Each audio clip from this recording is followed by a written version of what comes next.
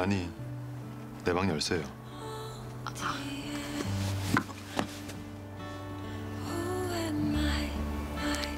씨, 금방 온다더니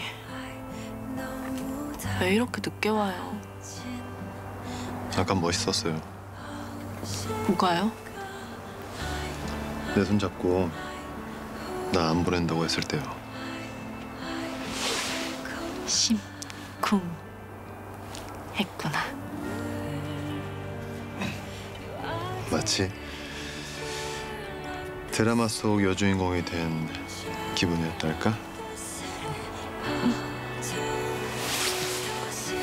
우리 지원이 나만 믿어.